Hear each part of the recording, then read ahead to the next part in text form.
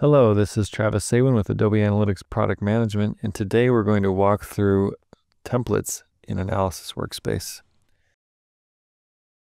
So here on our landing page on the far left, we've got three columns. We have projects, our new one, templates, and learning. So if I come to templates, I'm going to start with Adobe templates. So we have out of the box reports or templates uh, that are curated uh, as get start guides for users to quickly start their analysis. These are merely starting points.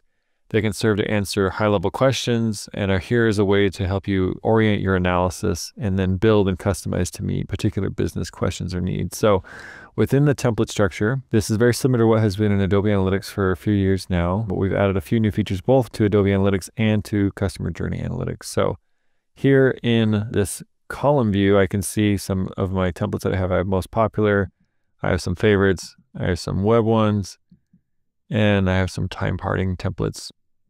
There is a second view that I can see. This is the standard column view that we're used to in Adobe Analytics, but there's also now a card view which you can see a quick thumbnail of all the different templates and what they contain, a brief description, the title. I can favorite directly on the card.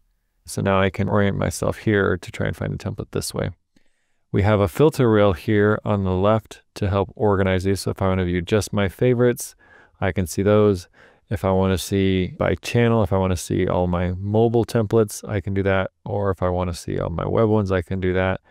Or if I want to view it by use case, if I want to see engagement, conversion, audience, whatever it might be, I can use the filters on either of the views to curate what things I'm looking at here. So uh, these are great filters to help navigate and curate your analysis. These are data view or report suite dependent. So depending on what you've got here, there's a new drop down here at the top. If you are in the card view, there is a sorting function here. So right now it's defaulted to most recently used, but you can sort by popular, alphabetical, categorical, things like that.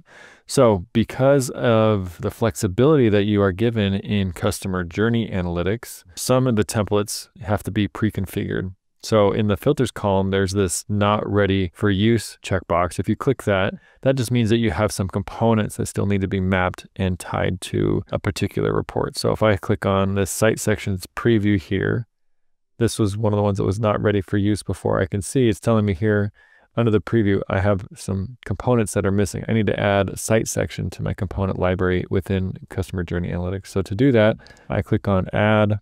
I come into my data view settings. I come to Components. I'm going to find my site section here. Here's my dimension right here. And to do that, I click on the dimension and what I need to add is a context label that ties my site section to my site section context label. So I'm going to start searching here on my context labels. I see site sections. I add that and now I save it. And now that I've tied my component to this context label, it will enable me to use that template directly back in Workspace. So I'm going to save and continue. So now I come back to Workspace and I reload my page.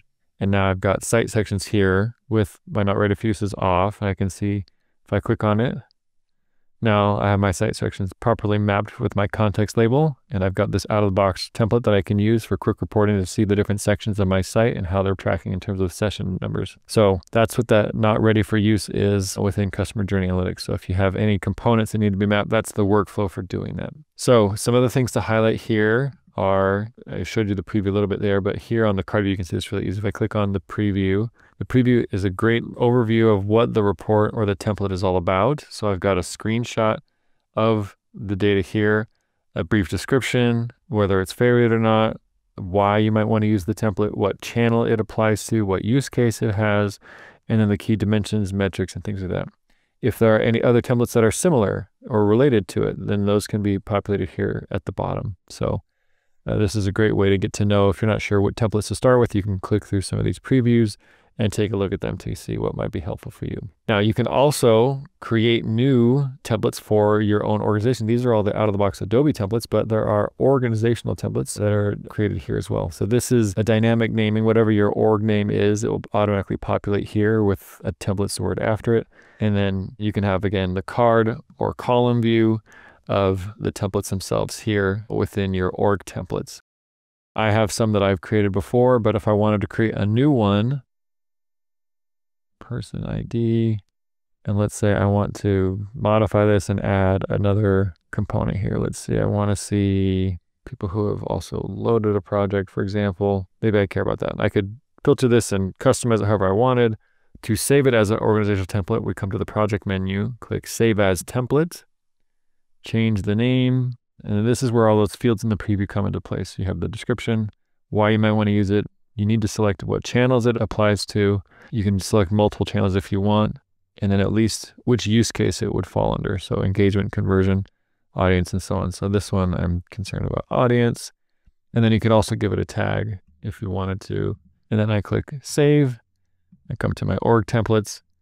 And if I come to audience, I can see I've got my person ID template with Travis edits already saved here under my organizational templates. And I can open that up and I can see the edits that I applied to it. So that's the option. If you have specific organizational templates that you would like to build for your customers, only specific admins can create organizational templates, but org templates and Adobe templates are available for consumption by all users. So that is uh, templates coming to Customer Journey Analytics and Adobe Analytics. Thank you for your time.